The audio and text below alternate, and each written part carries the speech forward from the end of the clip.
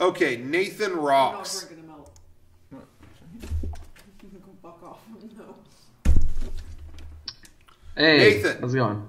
Hey, What's go up? ahead and just launch right into your favorite Martin Luther King like speech or moment. If you want to maybe give a speech yourself, go ahead.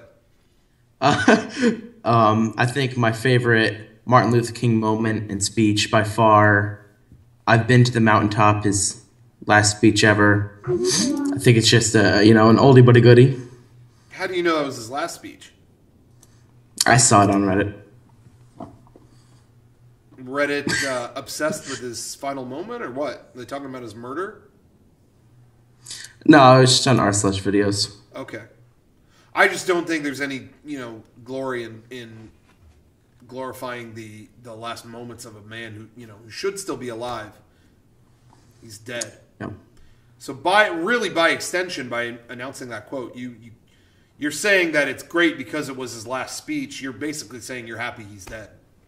No, no, no. I'm just saying it's such a good speech. Probably one of my favorite speeches. I, I'm going to let you go ahead and continue, but I will say you look like someone who would be happy that he's dead.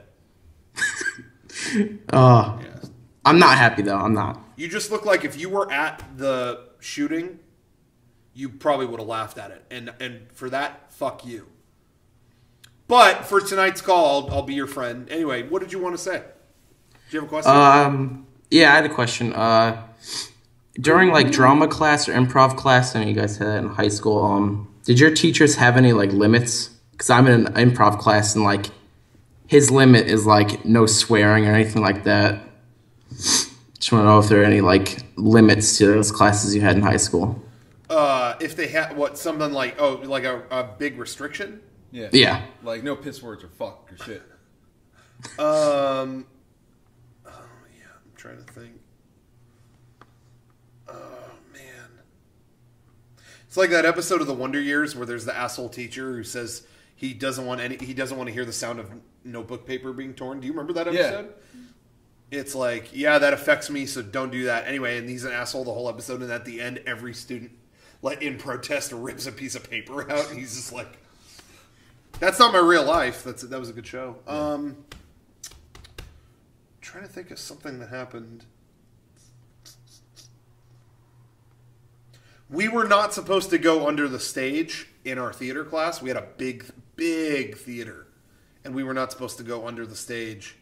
And so the second we had a substitute for the first time, we all went under the stage. Half the class was missing. We were all beneath the stage in pitch black just for no reason other than they told us not to go down there. So we did. There was nothing to do down there. We sat down there. There was like musical instruments and like I think somebody was making out with somebody, and like me, me and uh, my friend Brandon were just cracking up about the whole thing. And then the substitute walked out onto the stage to say that it, she was really pissed off that half the class was gone and she didn't know where they were. And then we were like, "Wow, she doesn't know that we're down here." And so um, we were silently cracking up about that. And she was yelling at the whole class about how they don't apply themselves and all that stuff. She just kept yelling and yelling.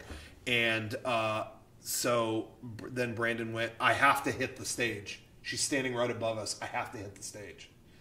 And I said, "What? Do you really think you ought to do that? Like, why would you want to do that? That's you're gonna that's gonna be big trouble." And he, I'll never forget the words that will stay with me for the rest of my life. You know, you have those like quotes that are like, "That was a perfect moment." He just Yeah. looked. He just stopped for a second and he went, "Cause it's gonna be funny as fuck." and and and and fuck is pretty funny. Boom. And uh, we all got written up. We all went to the office, and um, yeah, but it was worth it. I laughed about that for a year. So terrible Ah, teacher. great. Wouldn't have done it if it was like a nice substitute, but it was someone who was just pissed from the moment she got there. You know what I mean? So. Yeah.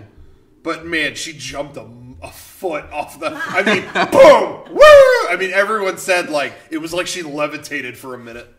So it was great. Awesome. All right. Well, thanks for taking my call, guys. No, no problem. Yeah. Uh, take care. Take care. All right.